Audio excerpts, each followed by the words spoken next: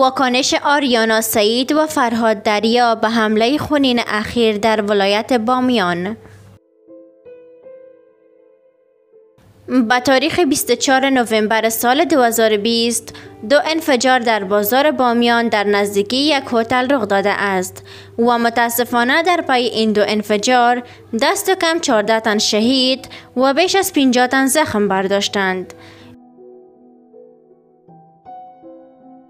این حملات واکنش های بزرگان حکومت و هنرمندان افغان را به همراه داشت از جمله هنرمند دلها بانو آریانا سعید با چنین پیام واکنشش را نشان داد. و بالاخره این حیوانات درنده و وحشی بامیان زیبا و پربار از صلح و آرامش ما را نیز راحت نگذاشتند. قلب تمام افغانستان با توست بامیان عزیز ما. با آرزوی برگشت به سوی انسانیت. آقای فرهاد دریا با نشر یک پیام در صفحه فیسبوکش واکنشش را اینگونه بیان کرد. امی موپک بیداریم. بامیان ولایت زیبایی و فرهنگ زمینه که 19 سال پیش یکی از شرماورترین انفجارات تاریخ بر آن تحمیل شد دیروز در نتیجه دو انفجار بی سابقه شاهد خفه شدن 14 قلب پرشور و تپنده از حیات بود. ای صورتک های نقاب دار اگر هزار بودای دیگر را هم بشکنید قادر نخواهید شد تا صدای همین موپک بیراریم را در گلوی افغانستان خفه کنید و همچنان دکتر عبدالله عبدالله و آقای حامد کرزی رئیس جمهور پیشین افغانستان با پیام های در صفحه فیسبوکشان این حملات را تقبیه نمودند. با تاسف در نتیجه وقوع دو انفجار در مرکز ولایت باستانی بامیان دست کم 14 غیر نظامی شهید شده و شمار دیگر زخم برداشته اند.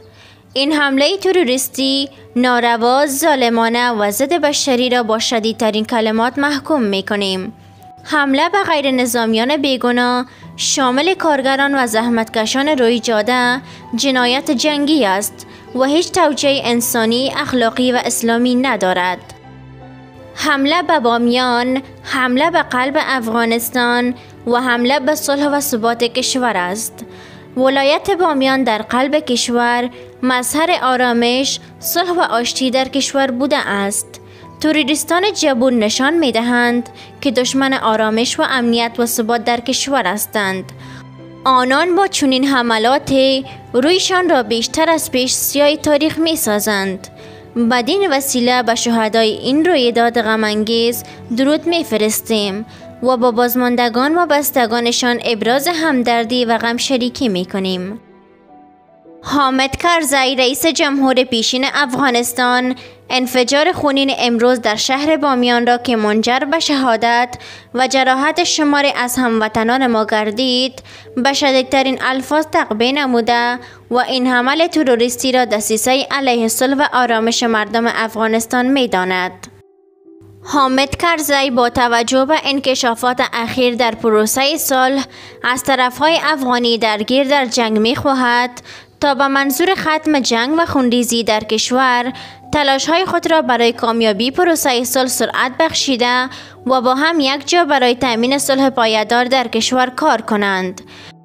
رئیس جمهور پیشین از بارگاه خداوند لایزال برای شهدای این حادثه علمناک بهشت برین برای خانواده هایشان صبر جمیل و برای زخمیان شفا استدها می نماید.